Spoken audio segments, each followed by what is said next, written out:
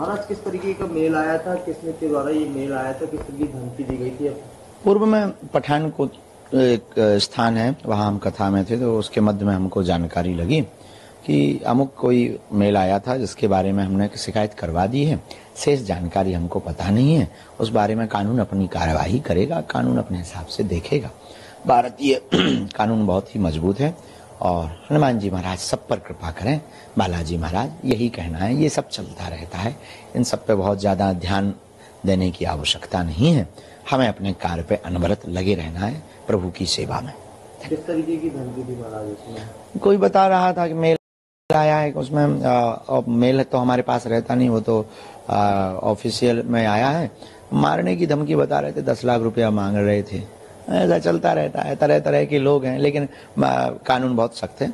जकड़ा पकड़ा जाए। है कोई लॉरेंस बिश्नोई कर की मेल आईडी है उससे आपकी आईडी ऑफिशियली आईडी आईडी पर इस तरीके का मेल आया था? हमने उस बारे में कोई विचार नहीं किया ना सुना है न हमने देखा है। हमें जानकारी भर लगी तो उसकी आधिकारिक अधिकारियों को सूचना दे दी है और उस प्रकार से।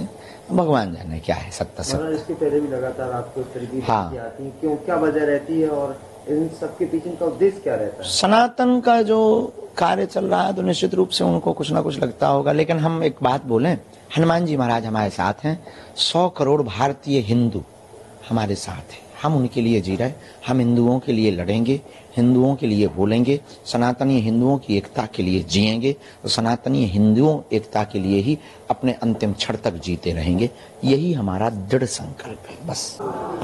जी सर बागेश्वर धाम के पीठाधीश्वर पंडित धीरेन्द्र शास्त्री को बिश्न- बिश्नोई ने किस तरीके की धमकी दी थी कि किस तरीके का मेल था और क्या कार्रवाई हुई है? कितनी मशक्कत पड़ी पुलिस को? कितना बड़ा चैलेंज था ये? पुलिस के लिए निश्चित रूप से चुनौती भरा कार्य था।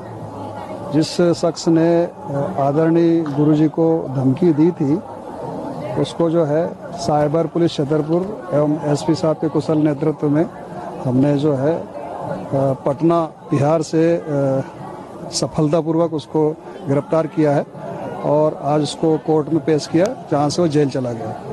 क्या मामला था सर? क्या किस तरीके की धमकी दी गई थी? संबंधित ने आदरणीय गुरुदेव को दस लाख रुपए की फिरौती और नहीं देने पर जान से मारने की धमकी ईमेल के माध्यम से दी थी। उसी पर यह कार्रवाई हुई। किस नाम से शख्स था? किस तरीके की आईडी थी वो सर?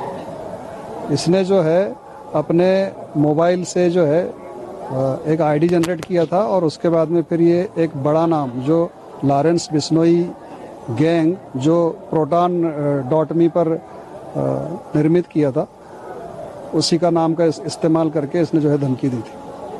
अभी क्या क्या है सर जेल भेज दिया गया किस तरह की कार्रवाई किन धाराओं के तहत कार्रवाई हुई? संबंधित के खिलाफ में धारा तीन सौ सतासी एवं पाँच सौ छः आईपीसी और आईटी एक्ट की धाराओं के तहत कार्रवाई हुई। पूछताछ में क्या सामने आया? क्या उद्देश्य था उनका पूछताछ में उसका कोई विशेष उद्देश्य नहीं था चूँकि वो इंटरनेशनल लेवल पर क्रिप्टो करेंसी से संबंधित काम करता है और उसने लालच में आकर के स्वतः प्रेरित होकर के किसी बड़े नाम को इस तरह से धमकी देने का प्रयास किया। पुलिस ने इंटरपोल की भी मदद दी है। यस